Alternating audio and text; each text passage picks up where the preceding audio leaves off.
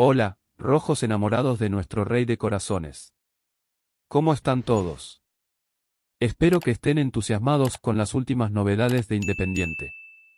Hoy les traigo una información apasionante. Parece que Ricardo Zielinski, nuestro entrenador, no está del todo satisfecho con la plantilla actual y quiere reforzar el equipo con un nuevo centrocampista. De este modo, Independiente será aún más fuerte. Mientras Zielinski trabaja para mejorar la plantilla, el presidente del club está a punto de resolver algunos asuntos financieros, lo cual es estupendo para nuestro futuro.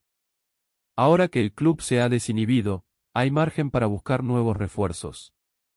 Y la noticia es que Zielinski quiere recuperar a un viejo conocido, alguien a quien dirigió una vez en Estudiantes de La Plata, el talentoso Fernando Zucchi. A pesar de las dificultades que atraviesa Zucchi en este momento, es blanco del interés de nuestro entrenador. Y aquí viene el pedido para todos los amantes de Independiente, para que esta noticia llegue a una más gente, les pido a todos que le den like a este contenido, ya que nos ayuda mucho. El club ya inició conversaciones con estudiantes para intentar traer a Zucchi a préstamo con opción de compra.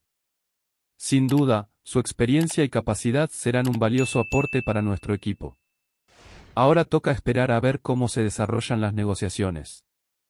Estad atentos a las noticias diarias del canal Noticias de Independiente para estar al día de todas las novedades y, al final, dejad vuestros comentarios y opiniones sobre este posible fichaje. Aplaudamos juntos el prometedor futuro de nuestro querido club. Vamos, Independiente.